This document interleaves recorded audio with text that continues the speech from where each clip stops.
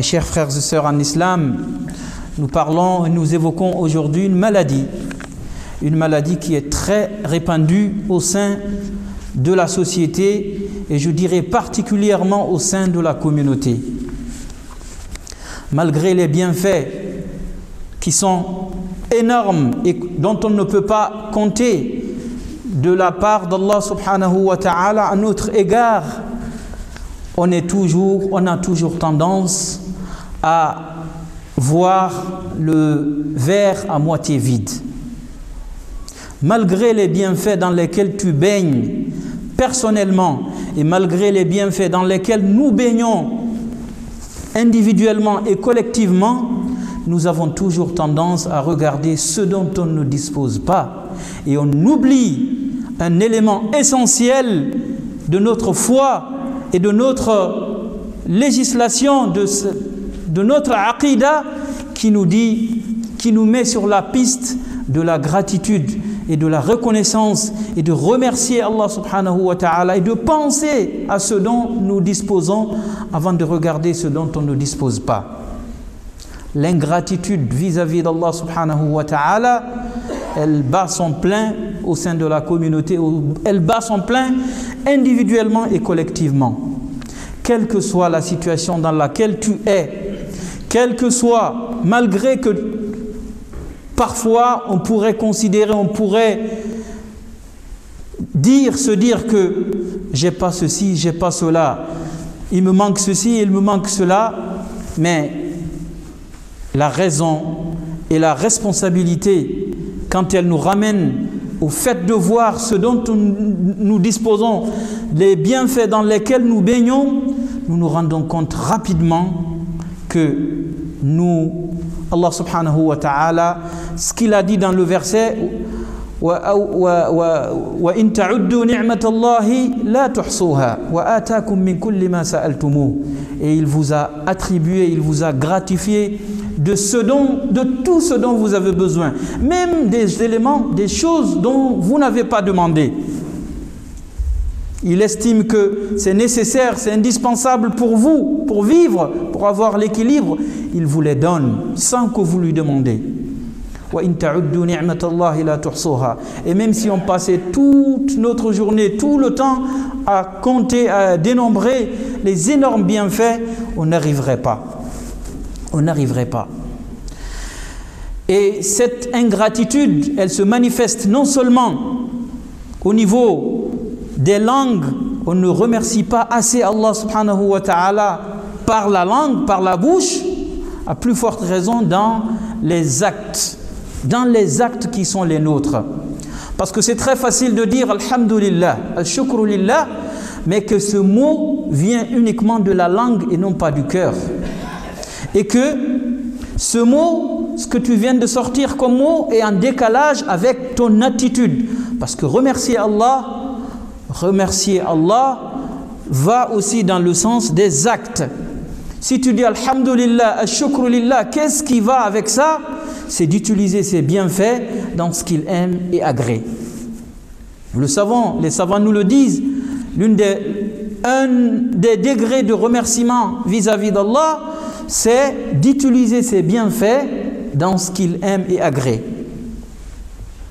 Allah nous cite l'exemple, le symbole de l'ingratitude dans le Coran et ce qui a été son sort. Qarun. Inna Qaruna kana min qawmi Musa. Qarun était, faisait partie du peuple de Moussa. alayhim. alayhim. Il s'est pris, il s'est mis au-dessus de tout le monde de par ses paroles, de par ses actes et de par son comportement. Et Allah l'a éprouvé par le fait de lui donner des richesses dont il ne peut même pas mesurer. وآتيناه من الكنوز ما إن مفاتحه لتنوء بالعصبة أولي القوة il était tellement riche que seulement les clés de ses magasins et boutiques, des hommes de grande force, plusieurs hommes de grande force ne pouvaient pas porter les clés de ses stocks et magasins. Je vous laisse imaginer si les clés sont de cette manière, ce qui est, ce qui, ce qui serait les richesses dont il disposait. وآتيناه من الكنوز ما إن مفاتحه لتنوء بالعصبة أولي القوة إذ قال له قومه لا تفرح Lorsqu'on lui a conseillé, lorsqu'on lui a demandé d'être humble et d'utiliser ses bienfaits dans ce qu'Allah subhanahu wa ta'ala aime et agrée et faire de ses bienfaits un moyen pour lui pour accéder au paradis. وابتغ فيما آتاك الله الدار الآخرة ولا تنس نصيبك من الدنيا et quand on lui a conseillé on lui a conseillé et finalement qu'est-ce qu'il a répondu قال إنما أوتيته على علم عندي sa réponse fut quoi? Tout ce dont je dispose c'est grâce à ma connaissance c'est grâce à ma force c'est grâce à mes plans à mes stratégies si je suis riche, si je dispose de ceci et de cela, c'est de par ma force et de par ma, science. Si Qaroun l'a dit directement de par sa bouche, malheureusement, aujourd'hui, c'est très rare de voir quelqu'un parmi nous qui pourrait dire cela, même si ça existe. Il y a des situations quand certains sont comblés de certains bienfaits, que ce soit le pouvoir, que ce soit l'argent, la santé, euh, avoir un statut social et ainsi de suite. La sécurité, on a tendance à considérer que tous ces acquis viennent de nos efforts. On a tendance à considérer que si on a eu ceci, c'est parce qu'on a mis en place cela. Bien entendu, sabab, il faut qu'il y ait sabab. il ne faut pas oublier Al-Musabbib au point d'oublier de lui remercier. Parce que le fait de ne pas le remercier, c'est une forme de coufre. Le fait de nier, c'est une manière de nier les énormes bienfaits dont il fait preuve vis-à-vis de nous. Et quand on nie les bienfaits d'Allah subhanahu wa ta'ala, cela peut nous mener au châtiment. in kafartum inna adhabi la shadid. Inna adhabi la shadid. وإن تعدوا نعمة الله لا تحصوها إن الإنسان لظلوم كفار L'homme est de nature à considérer que voilà, c'est de par sa force. donc je disais que s'il est rare de voir quelqu'un à ce niveau d'arrogance qui peut dire de par les mots que tout ce dont il dispose c'est par sa science et sa force, mais il est très fréquent, très très fréquent de voir les gens dans leur comportement agir comme ça. Le fait de se montrer orgueilleux parce que tu disposes ceci ou cela. Le fait de se montrer avare parce que tu disposes ceci ou cela.